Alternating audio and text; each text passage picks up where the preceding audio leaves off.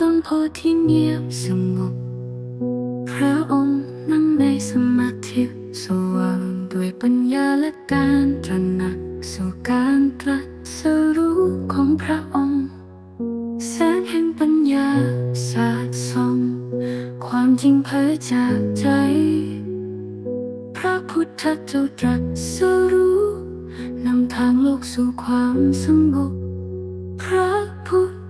เจ้าตรัสรู้นำพาเราไปสู่ทางสายกลาง ความจริงที่พระองค์ทรงพบเป็นแสงนำทางในความมืดเจ็ดวันในสมาธิ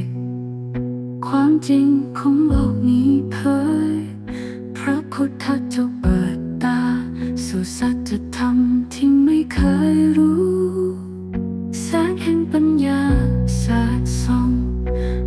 งเพ้อจากใจ พระพุทธเจ้าตรัสรู้นำทางโลกสู่ความสงบพระพุทธเจ้าตรัสรู้นำพาเราไปสู่ทางสายกลาง ความจริงที่พระองค์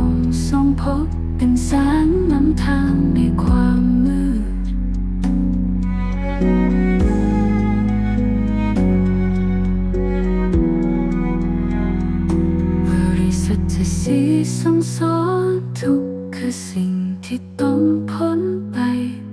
สมุทัยคือต้นเหตุนิโรธคือความดับทุกข์มรรคคือทางเดินสู่การหลุดพ้นและปัญ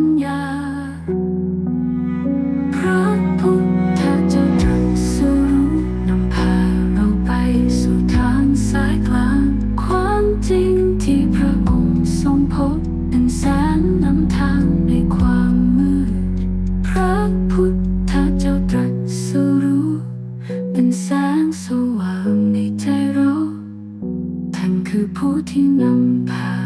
สู่การหลุดพ้นอย่า